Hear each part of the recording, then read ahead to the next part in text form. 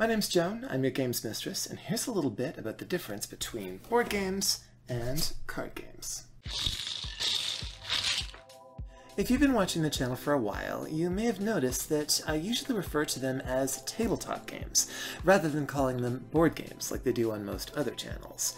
That's probably because I take a bit more joy than they do in being pedantic, but um, it's partly based in truth, right? I mean, a lot of the games that I talk about here don't involve a board, so those can't possibly be board games. They must be something else.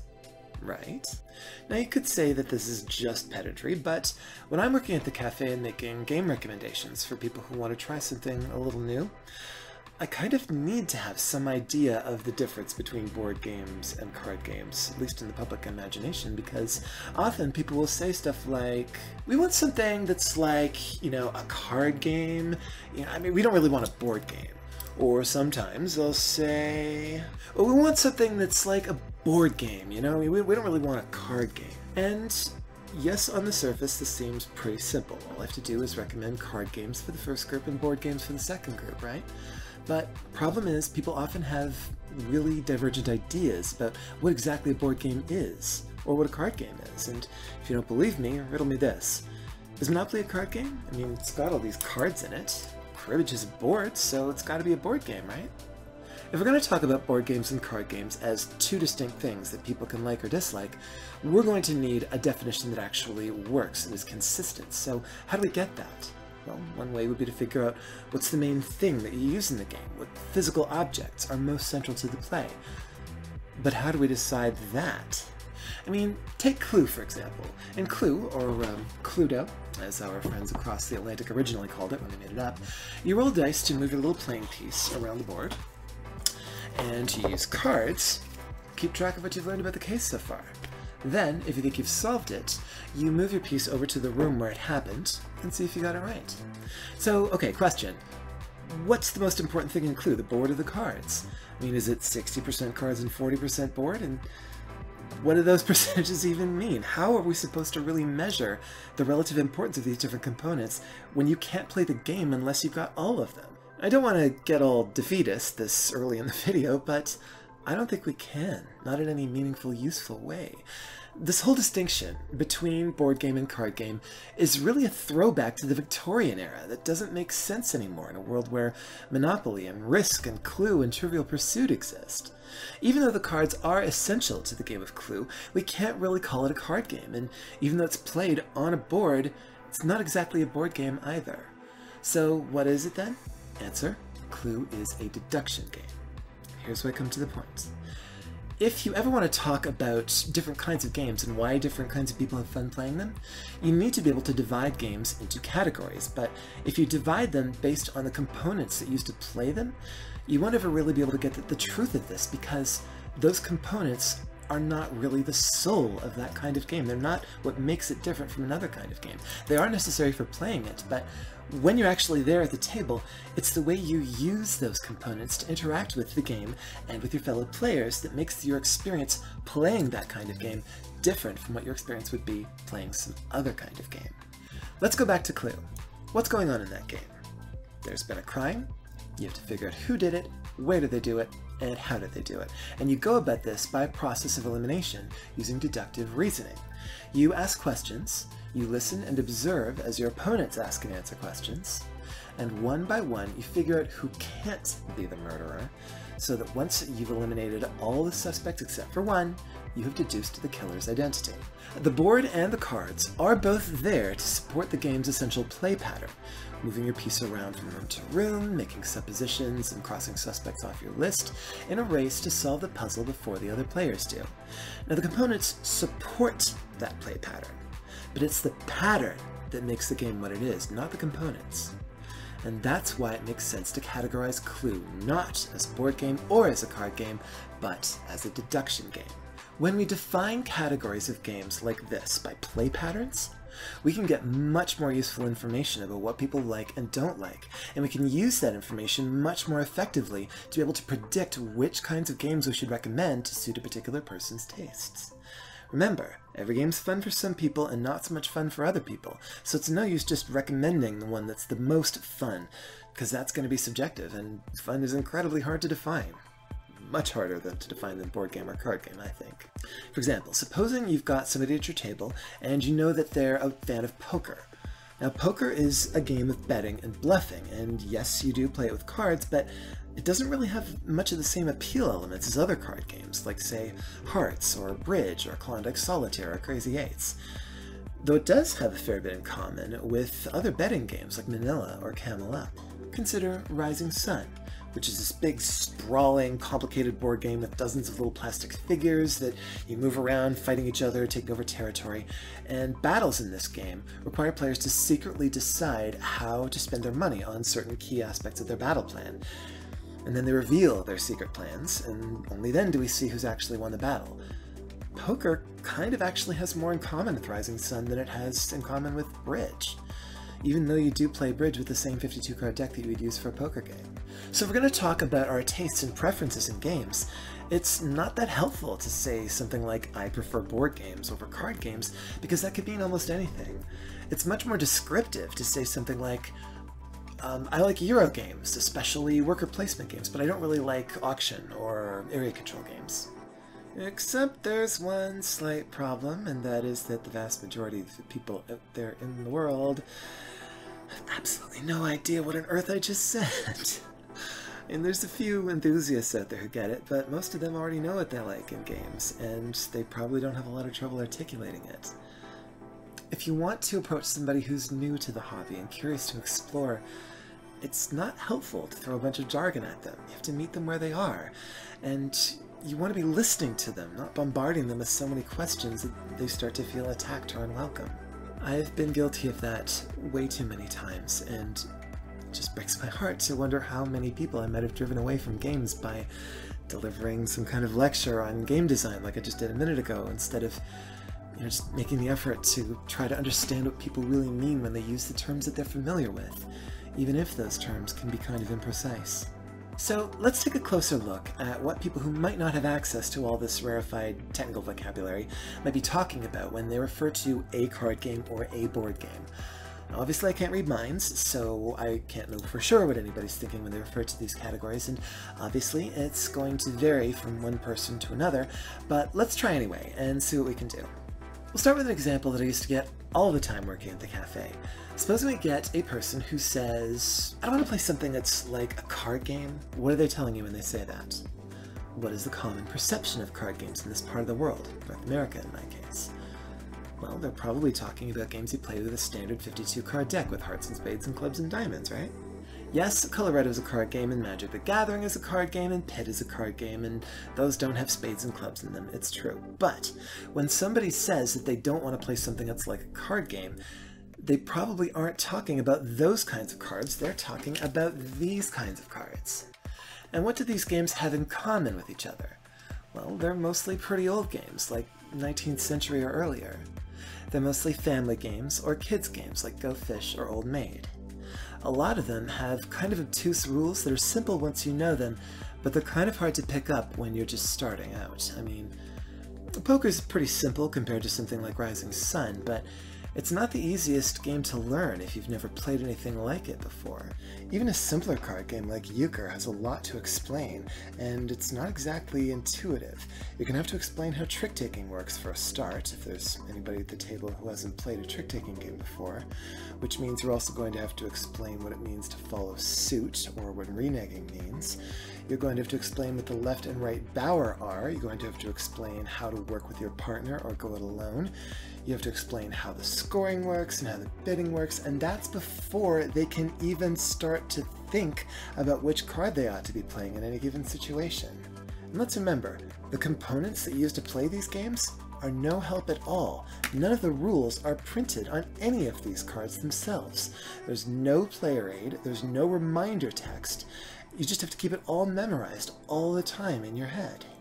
So you start to see the pattern here, right? With the exception of the really juvenile games like War or Old Maid or Go Fish, traditional card games played with that 52 card deck tend to be obscure, unintuitive, and frustrating to new players, even though they're often extremely relaxing and easy for people who've been playing them for years. And if you've ever tried to actually explain a card game that you thought was easy to someone who's never played anything like it before, you know exactly what I'm talking about. So, if I'm trying to figure out what to recommend to somebody who has told me I don't like card games, what I hear from that usually amounts to either I don't want something that's going to frustrate me with a steep learning curve, or I don't want something that's too simple and too juvenile to appeal to a typical adult audience. Now, there are plenty of modern card games like, say, Coloretto or No Thanks that can actually work just fine for people like that. And if they like games with similar play patterns, then they probably actually have a really good time playing those. Maybe even they'd find a new favorite game. If I could convince them to give it a try. And considering that they just finished saying that they don't want a card game, they might not feel terribly inclined to indulge me in that particular idea.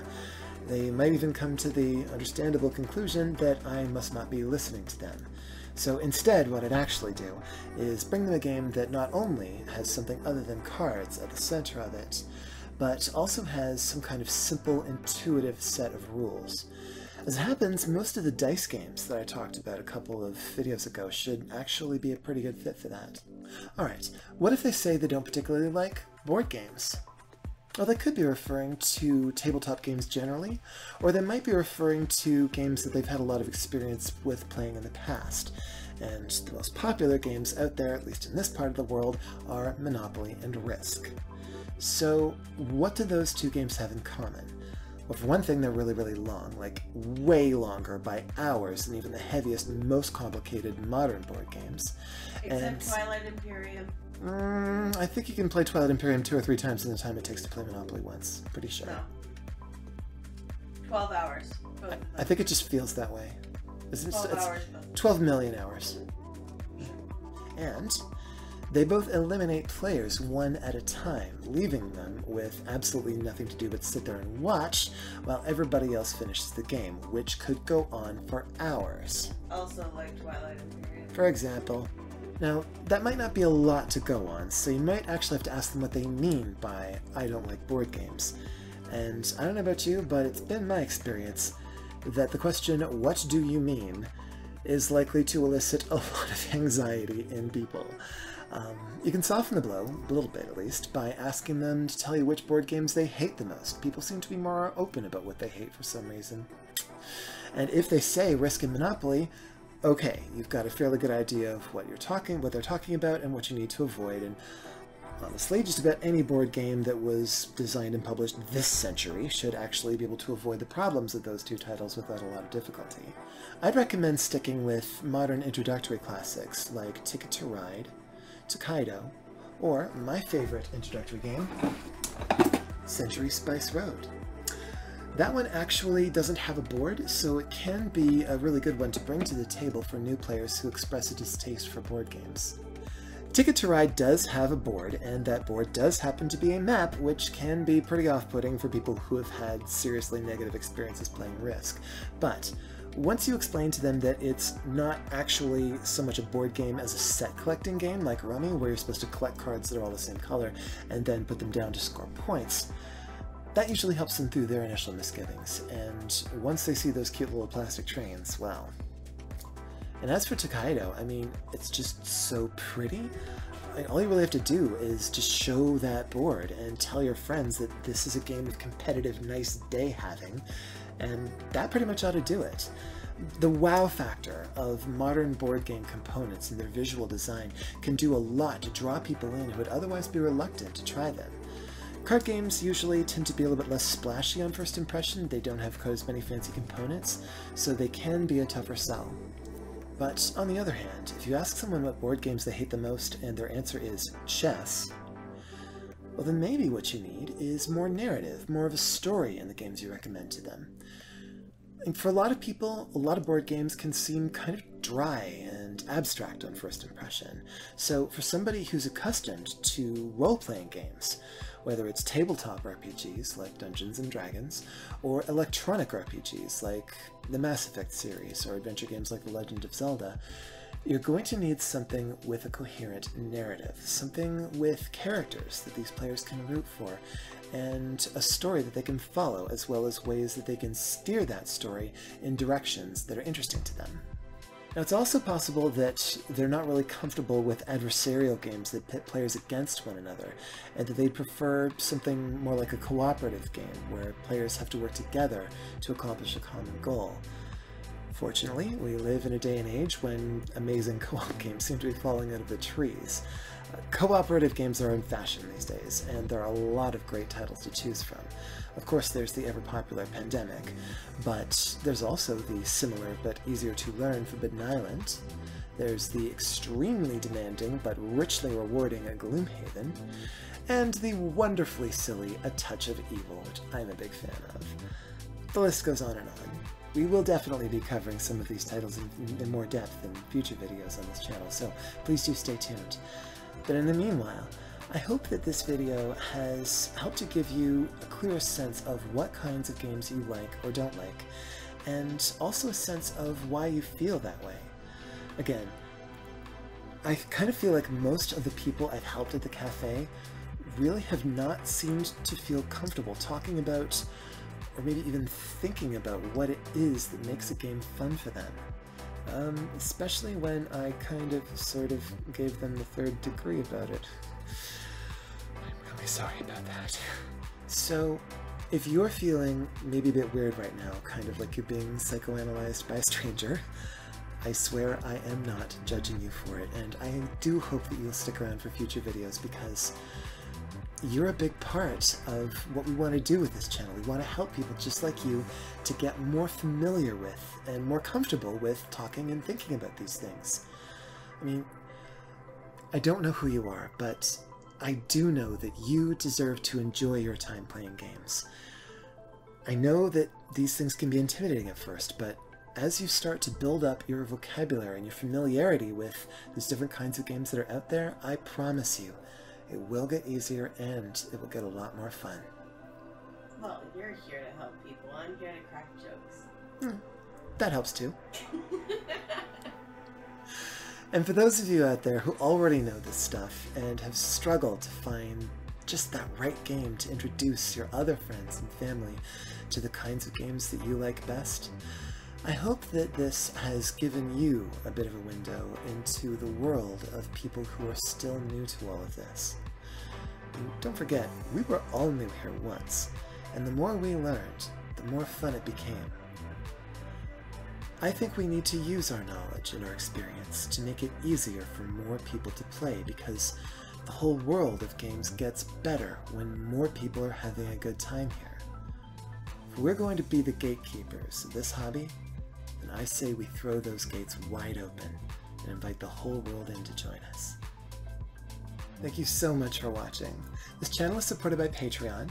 You can also hire me to help you make the most of your game nights at joanthegamesmistress.com. If you can't afford any of that, please keep tuning in. Uh, you can still help me out with a like, sub, ding for free, and you can also help me out by telling me in the comments what you mean when you're referring to a board game or a card game. Don't forget though, mean comments get deleted and mean people get banned, so play nice. Your turn. Like the like the thingy. I like the thingy. Wait, this is, are we still recording? Yeah.